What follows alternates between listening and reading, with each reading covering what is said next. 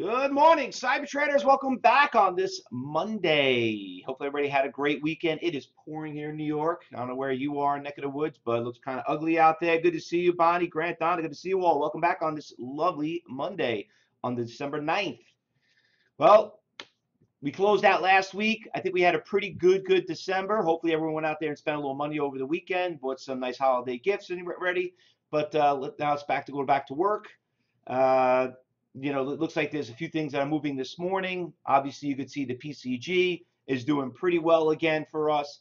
Uh, listen, it became more of a day trade, and then it became all of a sudden become a swing trade. So we're going to talk about that. A couple of nice little stocks that we traded last week, and also there's a couple of big buyouts, weekend buyouts. Uh, you can see some of them are up like Thor, up 170%. We'll talk a little bit about that.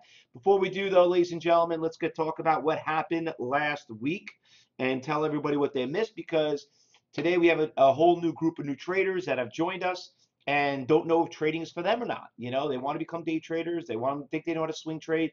They maybe they, they haven't done good in options. Well, now they want to know if this is what it's all about. So let's uh, kind of let's kind of give a little little update. Let them know what they traded last week, and then we'll send them to understand what to expect this week. First, let's start off with the YE.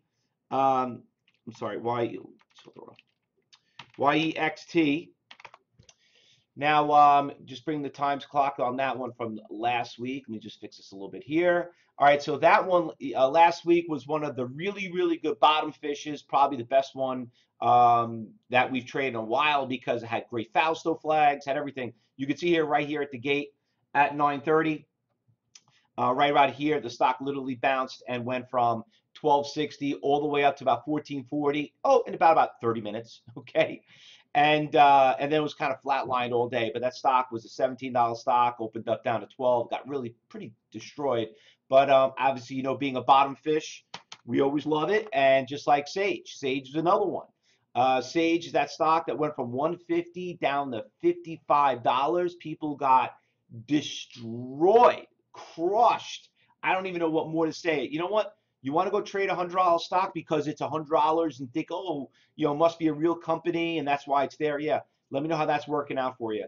But let me tell you, we killed it last week on this stock right here in Sage, S A G E, um, or SAG, however you want to spell it. but um, but what a great little bounce on Friday on Friday again. But we did good on the day before when it gapped down pretty big. Very fast moving stock though. It wasn't a nice, easy, comfortable stock. You couldn't trade a lot of shares of it. Stock had some really, really nasty swings on it. Another stock that was doing pretty well is Big. Uh, Big had a nice little move. You can see it went from 23 all the way to 26. Had a nice little move all day. Once again, did its nice little 10:30, uh, 9:30 to 10 o'clock move, and was pretty much done after that. Had a nice push going into the close. That was okay. UPH is the last but not least. Moved back up up a little bit. Uh, you can see a stock we was gapped up from 8 to 16. Did pretty well. Kind of came back down a little bit, but that also uh, was a pretty decent stock.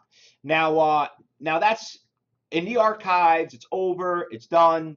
Now it's time to go out there and talk about what is moving this morning. Uh, now, listen, it is Monday. We all know about Monday. Uh, not a lot going on. A lot of, I mean, other than a lot of big weekend buyouts. So there's always not a huge list. There's a pretty decent list. We know Tuesdays and Wednesdays and Thursdays are the best days to be here in the cyber group room when we day trade. But uh, but there are some things that we want to keep a focus on. Let's start off with the XBit. Now XBit right here, you can see it just looking here at level four and just kind of looking over as in the orders go.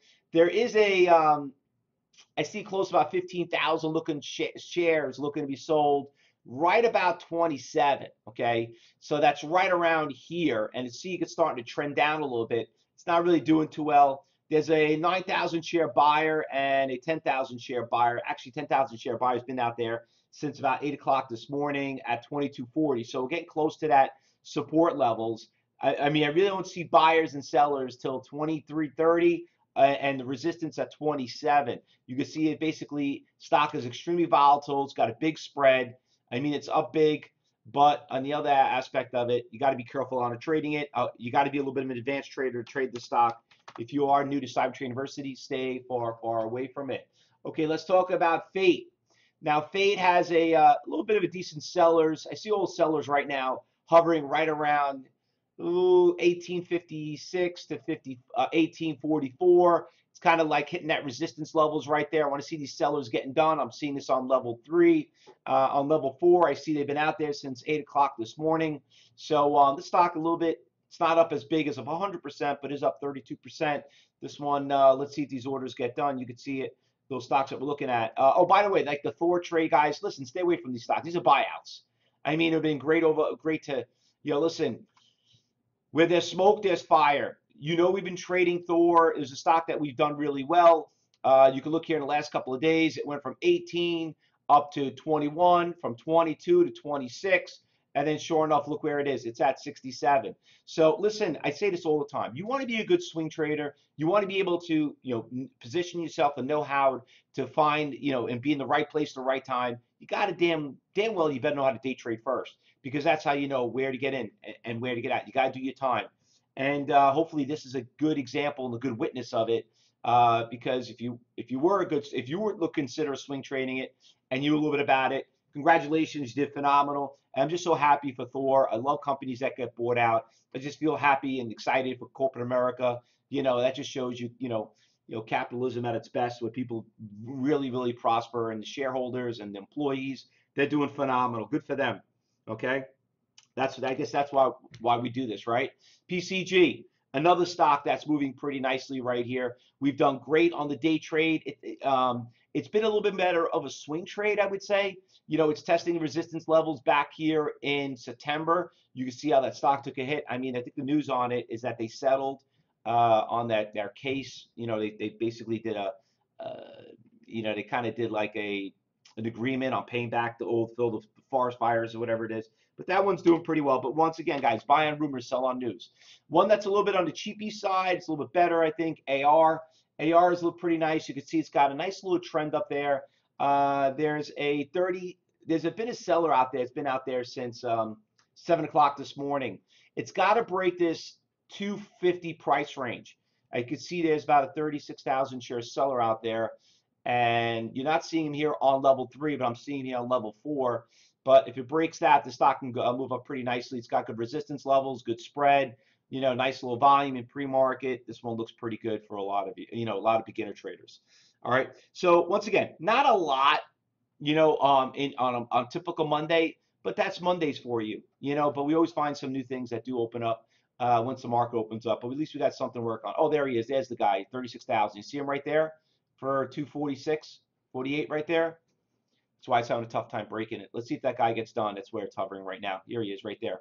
Edge right there, 36. All right, guys, anything I missed I did not call out? Anything I missed? I think that's about it, right? All right, so listen, if you're new to Cybertrade University, it's your first day on, on the uh, in our room, please listen to me carefully. This is not a teaching room, okay? This is a trading room. We just trade. If you like and see what the traders are doing and how they're making money, and you want to know how they think for themselves and how they're able to work with each other, make sure you talk to education advisor. Hopefully, he did your walkthrough. He walked you in great detail, explaining what to expect. Because I always say this to everyone: trading is the greatest job in the world, but it's not for everybody, and that is okay.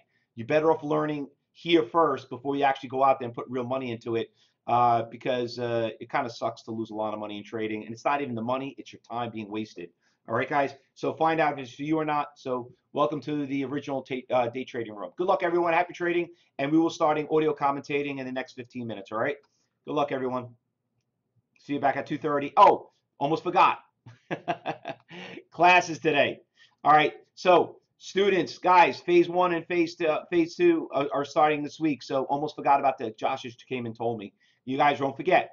If you're a student, if you're a gold, platinum student, diamond, remember classes start today. You don't want to miss it. All right, guys.